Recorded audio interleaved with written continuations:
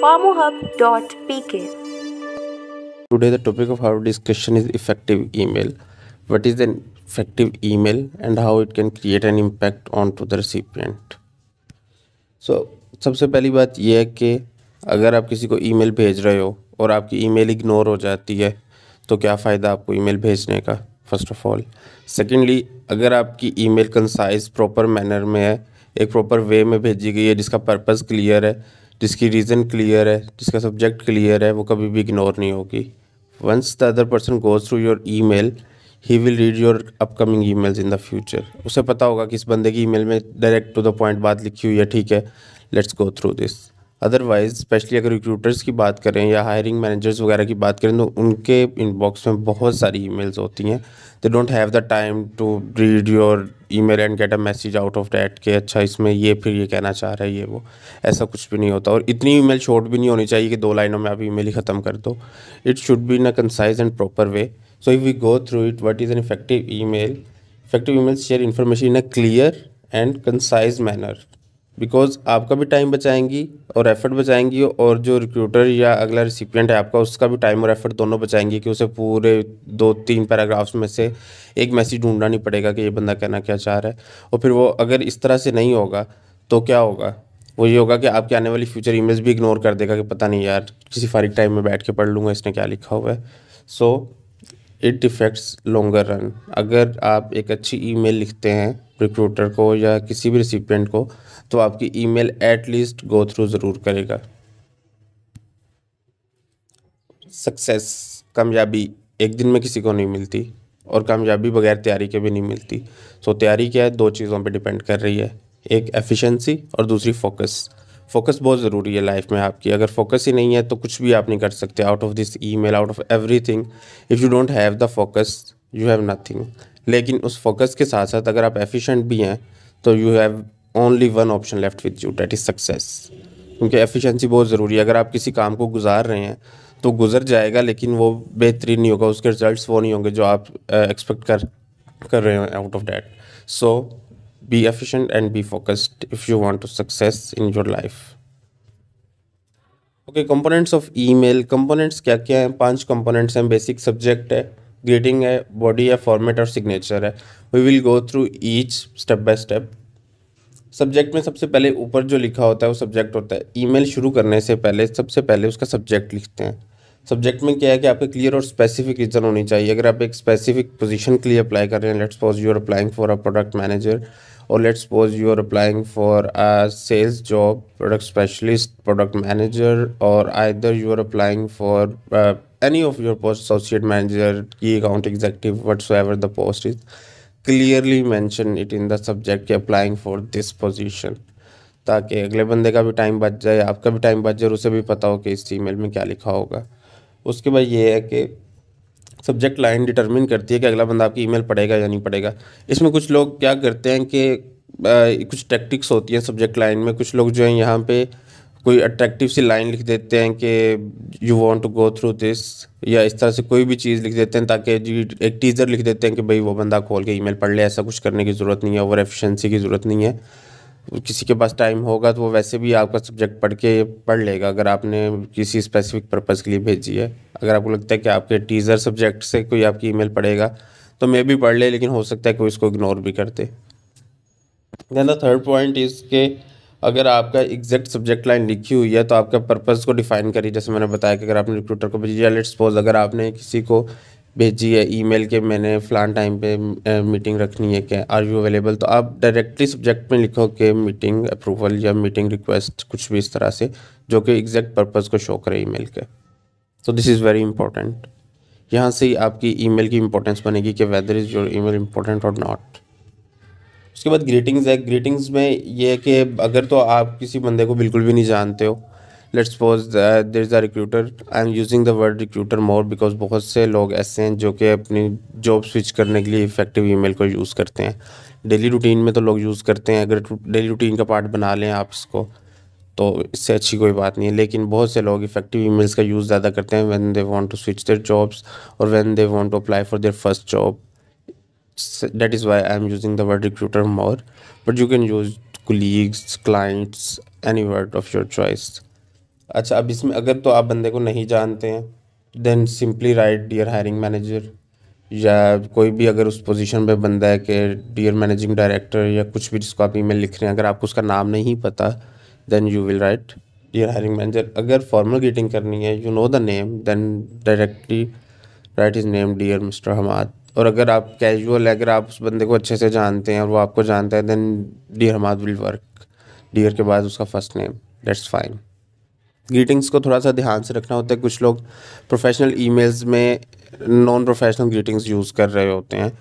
That is another concern तो avoid that then comes the body body में अब तीन पार्ट्स हैं। एक ओपनिंग है, एक होता है मिडिल पार्ट और एक होती है क्लोजिंग अब ओपनिंग में आपने करनी होती है स्टार्ट किस तरह से कि एक जो है ना ओपनिंग स्टेटमेंट से स्टार्ट करनी क्या है hope you will be doing well trust this email finds you in good health इस तरह से कोई भी ओपनिंग स्टेटमेंट यूज़ करनी है, आपने, उसके बाद आपने अपनी ईमेल का पर्पस बताना है। उसके बाद जो है, आपने ईमेल को ड्राइव करना है कि किस तरह से आप ड्राइव कर रहे हो। इसकी जो लेंथ है, वो वेरिएबल होती है।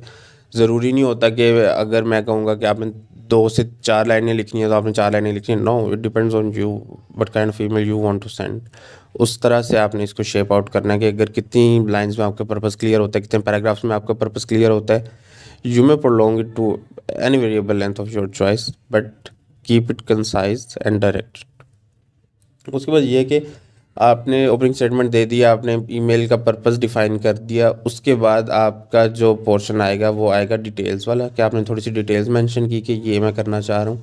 उसके बाद ये सारी चीज़ें आएँगी मिडल पोर्शन में, कि डिटेल्स और ये सारी चीज़ें इंटरेस्ट आपकी और उससे क्या मिलेगा, ये वो, ये सारी चीज़ें इसमें आएँगी। Let's suppose if you are applying for a job और स्विचिंग फॉर अ जॉब तो आप स्टार्ट करने के बाद, अगर आप स्टार्ट करते हो कि I hope you are doing well इसके बाद आप अपनी पोजीशन को डिफाइन करोगे कंपनी को डिफाइन करोगे and then you will define के I am applying at your company for this position एक ही ऑप्शन है। दूसरी ये भी है कि आप पहले इस चीज़ को ले जाएँगे I am applying at this position at your company I am currently working at this this this या I am currently a fresh graduate बहुत आर द करेक्ट चॉइसिस कोई मसला नहीं है दोनों में। उसके बाद ओपनिंग स्टेटमेंट होगी इंट्रोडक्शन हो गया ब्रीफ उसके बाद आप आ जाओगे मिडल पॉइंट पे। दैट इज़ ये जस्ट मैं आपको सपोजिशन एग्जांपल दे रहा हूँ। उसके बाद आप आ जाओगे मिडिल पार्ट पे कि आई हैव डन कोर्सेज या I have this this this experience I have this much experience of this product और anything what you are working wait okay इसके बाद आप आ जाओगे लास्ट पार्ट पे that is the follow up commitment part commitment part पे आपने लेना कि I am hopeful you will call me for an interview I am hopeful कि हमारी डील फाइनल होगी। आई एम होपफुल के we will be having this meeting at that day या any concern day of your choice तो इस तरह से आपने एंड पे फॉलो अप और कमिटमेंट के पार्ट पे आना है। तो ये तीन पार्ट इंपॉर्टेंट है। Opening statement introduction then details purpose and then on the last commitment and follow up उसके बाद जो है आपकी बॉडी यहाँ पे क्लोज हो जाएगी। इसमें आप अगर कोई इवेंट्स और डेट्स हैं तो आप सेपरेटली क्लोजिंग के बाद नीचे लिख सकते हैं कि इवेंट डेट डे टाइम इस तरह से वो एक आपका छोटा सा पोर्शन बन जाएगा that is after the body format अब किस तरह का होना चाहिए? ईमेल में दो से तीन बातें हमेशा याद रखनी है कि फॉर्मेट जो है सिंगल फॉन्ट स्टाइल होना चाहिए। अगर आप कैलिब्री यूज़ कर रहे हैं keep using Calibri there is not need to use Times New Roman और any other font no and if you are using Times New Roman your whole email should be in Times New Roman ऐसा नहीं होना चाहिए कि आपने कुछ चीज़ें times New Roman में लिखी हैं, फिर आप कैलिब्री में चले गए हो। कुछ लाइन्स आपने कैलिब्री में लिखी हैं, फिर आप सेंस नेटो में आ गए हो या किसी भी और फॉन्ट में आ गए हो no you need to keep a single font in whole your email but I would prefer कि आप कैलिब्री अगर यूज़ कर रहे हैं तो आप कैलिब्री यूज़ कर लें। अगर टाइम न्यू रोमन यूज़ कर रहे हैं तो कीप यूजिंग डैट उसके बाद ये है कि आपने बुलेट पॉइंट्स में अपनी चीज़ें डिफाइन करनी है। लेट्स सपोज़ जो ईमेल की बॉडी में सेक्शन हमारा मिडिल पोर्शन था ना, जिसमें हमने बताया कि we will be clearing out our purpose we will be explaining our purpose तो उसमें बुलेट पॉइंट्स और नंबर्स यूज़ करने that will have a positive impact and a good impact on the recruiter और ऑन द क्लाइंट्स और anyone who is the recipient किस बंदे ने। Points बना के लिखे और इजीली वो अंडरस्टैंड कर लेगा गो थ्रू कर लेगा कि बाकी ईमेल पूरी की पूरी ना पड़े वो पॉइंट्स लाजमी पढ़ लेगा। उसके बाद ये कि स्पेलिंग और ग्रामर मिस्टेक्स लाजमी चेक करनी है, क्योंकि वो ईमेल जिसमें ग्रामर और स्पेलिंग मिस्टेक्स होती हैं, उसकी क्वालिटी बहुत गिर जाती है। एवरी वन सीज के सम काइंड ई मेल और the other person is naive so ऐसा कुछ नहीं करना है यू नॉट सो नाइव कि आप इस तरह से ईमेल लिखोगे, उसमें स्पेलिंग मिस्टेक्स हैं ग्रामर मिस्टेक्स हैं सो ऑलवेज प्रूफ रीड उसके बाद ये कि कलर्स ऐसा नहीं है कि आपने डियर हायरिंग मैनेजर ब्लैक में लिखा है तो बाकी सारे ईमेल ग्रीन में लिख दो no you have to keep a single colour throughout your email उसके बाद एनिमेशंस और इमोजीज ये चीज़ें नहीं डालनी। बहुत से लोग जो हैं, वो इमोजीज डाल देते हैं। You have other platforms for that but emails में emojis you should avoid emojis in emails then lastly signature signature is very important बहुत कम लोग इस चीज़ को फॉलो करते हैं सिग्नेचर को। अदरवाइज़ बहुत से लोग रिगार्ड्स के बाद डेट सेट कुछ भी नहीं लिखते आगे, लेकिन सिग्नेचर बहुत ज़रूरी है. रिगार्ड्स के बाद आपका सिग्नेचर नहीं है तो समझे आपकी ईमेल आदि तो वहीं पे फ्लॉप है. अब सिग्नेचर में होना क्या क्या चाहिए? योर नेम कंप्लीट नेम उसके बाद आपका फ़र्स्ट नेम और सेकंड नेम दोनों होने चाहिए. उसमें करेक्ट स्पेलिंग्स के साथ स्पेलिंग मिस्टेक्स नहीं होनी चाहिए. उसके बाद आपके पोजीशन और टाइटल अगर आप फ्रेश ग्रेजुएट हैं तो आप अपनी यूनिवर्सिटी का लिख सकते हैं. Fresh graduate university college of pharmacy ऐसे कुछ भी लिख सकते हैं जो आपका, आपके अकॉर्डिंगली है। जिस तरह से अगर आप फ्रेश ग्रेजुएट हैं और फ़र्स्ट टाइम किसी को ईमेल भेज रहे हैं जॉब के लिए then you will write at regards your name your university name उसके बाद आप उसका यूनिवर्सिटी का आगे कोमा डाल के let's suppose university college of pharmacy Lahore, Punjab university college of pharmacy Lahore, इस तरह से कोई भी एग्जांपल्स आप दे सकते हैं। जो भी आपकी यूनिवर्सिटी है वो। उसके बाद आ जाएगा आपका डिस्क्लेमर इसमें फ्रेश ग्रेजुएट्स को कोई ज़रूरत नहीं है डिस्क्लेमर डालने की। डिस्क्लेमर होता है अगर आप अपनी ऑर्गेनाइजेशन से बाहर ईमेल भेज रहे हैं। Let's suppose if I am sending an email outside my organisation how will I send it कि जो भी मैंने ईमेल में कंटेंट लिखा मैं छोटी सी लाइन्स नीचे दो से तीन लाइन्स का डिस्क्लेमर लिख दूँगा कि अगर किसी बंदे को ये ईमेल मिली है तो ये ईमेल उसी के लिए इंटेंडेड है जिस पे सेंड हुई है। अगर उसके अलावा किसी ईमेल पे आ गई है, क्योंकि अक्सर ऐसा होता है ना कि आप जिसको भेज रहे हो, उसकी ईमेल में कोई स्पेलिंग मिस्टेक हो जाती है। Let's suppose A B C at the rate of pharma dot dot com था। मैंने A B C D at the rate of pharma dot com को भेज दी बाई मिस्टेक तो वो डिस्क्लेमर इसलिए होता है ताकि वो बंदा डिलीट कर दे ईमेल को कि अच्छा ये मेरे लिए इंटेंडेड नहीं है, ये इस ईमेल के लिए इंटेंडेड थी। So this is a double check कि जब आप अपनी ऑर्गेनाइजेशन से बाहर भेज रहे थे but for the fresh graduate it's not important you just need to write your name first name last name your university your phone number and email address that's it that is only required from you then there are some tips वो ये हैं कि concise होनी चाहिए. Subject line जो है वो directly होना चाहिए. बिल्कुल एग्जैक्ट और कंसाइज होना चाहिए. उसके बाद प्रॉपर ग्रीटिंग होनी चाहिए. We have talked already about it उसके बाद ब्रीफ इंट्रोडक्शन होना चाहिए. Then purpose of email clear होना चाहिए there should be no grammar और spelling mistake at all only provide essential information. You don't need to write your stories, nothing. Just give the essential information that is required. Use bullet points and numbers, as we have discussed before. उसके बाद follow up information है. Clear closing line होनी चाहिए. Your closing line should be clear like I am very hopeful that we will be meeting on this और I am very hopeful that you will be considering me for an interview very soon I am very hopeful that I will get shortlisted इस तरह से आपकी closing line बहुत clear होनी चाहिए। Then appropriate signature इसके बगैर तो ईमेल इनकम्प्लीट है। तो if we go through the don'ts warnings warnings बहुत ज़रूरी हैं। हमारी कौम वार्निंग सुनती नहीं है वैसे, लेकिन ज़रूरी हैं। सो वार्निंग्स में क्या है? Don't use irrelevant celebration don't overuse exclamations irrelevant कुछ नहीं करना। इरेलीवेंट सेलिब्रेशन का मतलब है कि आप जो है ग्रीटिंग है वो इरेलीवेंट दे रहे हो। आप एक बंदे को जानते भी नहीं हो, आपने कहीं से उसका नाम सुन लिया बस and you pop up straightly के डियर ये। और वो क्या करेगा, कहेगा अच्छा just a casual email so casual email नहीं करनी है। Whenever you are sending an email to a recruiter even if you know his her name then it's fine you can write dear mister फला but अगर आपको नाम भी नहीं पता और आप ट्राई करते हो कि अच्छा इसका ये इस कंपनी में ये वाले दो एच आर थे, उनमें से ये ये ई मेल पड़ेगा। अब डायरेक्ट उसका नाम लिख के भेज देते हो। सो डोंट डू दिस उसके बाद है कि डोंट यूज़ ह्यूमर कोई ज़रूरत नहीं है ह्यूमर की।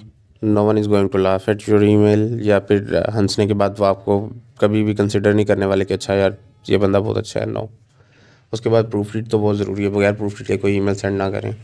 Send the last one don't forget to add your signature don't forget हमारी आवाम को बहुत शौक होता है हर जगह पर सिग्नेचर करने का, जहाँ जगह मिलती है। We use to do this we are so interested in drawing signature everywhere even I remember I use to do this my childhood whenever at every page of my notebook like it was something very interesting thing for me to do do just signature out everything I signature ऐसा होता था कि जो चीज़ मुझे मिलती थी signature कर दो। यहाँ पे भी सिग्नेचर कर दो। डायरी होती थी, जहाँ पे टीचर के सिग्नेचर नहीं होते थे use to signature myself over there कि अच्छा ठीक है, यहाँ पे इस सब्जेक्ट के टीचर ने सिग्नेचर नहीं किया तो मैं खुद कर लेता हूँ। अपने सिग्नेचर कर लिया करता था मैं। So with time we learn कि अगर हमें तब इतना शौक था सिग्नेचर का तो वो शौक हमने ईमेल में भी कंटिन्यू रखना है। So this was all about effective emails this is an example of effective email we have the subject हाँ इसमें एक चीज़ नोटिसेबल है, वो है कि सीसी जो है कॉपी इसमें यह है कि आपने अपने आप को सीसी में लाजमी रखना है, ताकि आपको बाद में भी आइडिया हो कि मैंने किस किस रिक्रूटर को ईमेल भेजी थी, वो आपके इनबॉक्स में शो होती रहेगी। इसलिए इट्स एडवाइस बाकी आप लोगों की अपनी मर्ज़ी है। Then your manager subject is clear उसके बाद starting line then the middle portion which is essential information and explanation of purpose then the commitment and follow up portion and then closing regards signature that's it thank you For any queries, join us on our social media sites.